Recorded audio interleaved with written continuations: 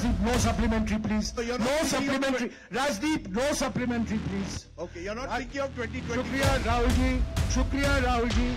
Rahul ji, shukriya. Okay, okay, okay. आपके so you're not thinking of 2024 or no supplementary, please. Okay. Please respect the rules okay. that have been set. No, let me. I have informed you the rules. Jairam, see, the point is. see, I understand. Look, No now, supplementary. आप बार बार I- I- पूछते हैं I'll just answer आप that. बार बार पूछते हैं आप चुप रहिए I'll answer the. चुप रहिए आप Mr. Gandhi, uh, thank you very much for uh, addressing the press conference. It's good to have leaders who take questions from the press. And we were going to ask a question on China as well. No, you will not. No, we had it. Moshmi and I had discussed it, but that's okay. Sir. No, no, no. Of course. That's okay. After I said it, of course, now suddenly No, the no, so questions that, will come. no, no, no, no, we We can. don't need to get into it. Sir, you started your press conference by saying that you believe the yatra has been a success as it's gone from Kanyakumari into North India. Can you define for us what Rahul Gandhi believes is the success of a yatra? Because only last week you lost an Gujarat badly, you won an election in Him- Himachal. Is electoral success one of the criteria for you when you say success of the yatra? And what next for you after this yatra, Rahul Gandhi ji? Are you building towards 2024? Is that also part of this yatra's journey? It is a view held by quite a few people that this is what India should look like. That one language should dominate, one state should dominate, one idea should dominate, uh, one culture should dominate, right? One religion should dominate. And there's another view. And that view is that this country should talk to each, itself. It should have a conversation with itself. It should be affectionate to itself. It should understand the pain that this country is going through. It should not be arrogant, it should be humble. It should reach out to other people. It should embrace other people. This is another vision.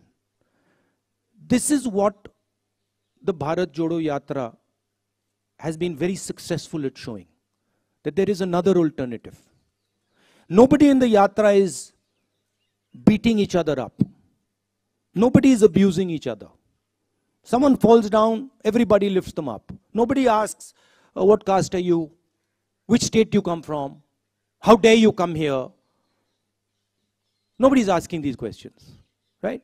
And that the yatra has been full of love and affection. Anybody comes, they're treated with respect. Doesn't matter who they are. A lot of people come to me when I'm talking to them, I don't agree with them. They'll say something to me, I tell them I don't agree with you. But there is the space for the disagreement. So, where the yatra has been extremely successful